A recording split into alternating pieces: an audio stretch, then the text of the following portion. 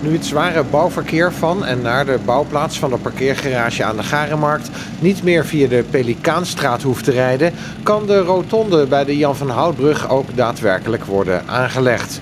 Het gaat om een ovale rotonde, een ovonde dus. De afgelopen periode negeerden automobilisten, bus- en vrachtverkeer massaal de beleiding en sloegen vanaf de Jan van Houtbrug direct linksaf de Jan van Houtkade op. Dat kan nu niet meer. Maar de bocht is ruim genoeg. Kijk maar hoe soepel deze lijnbus eromheen draait. De Ovonde wordt belegd met blokken grasbeton en krijgt daardoor een groene uitstraling. Later worden er ook bomen geplant.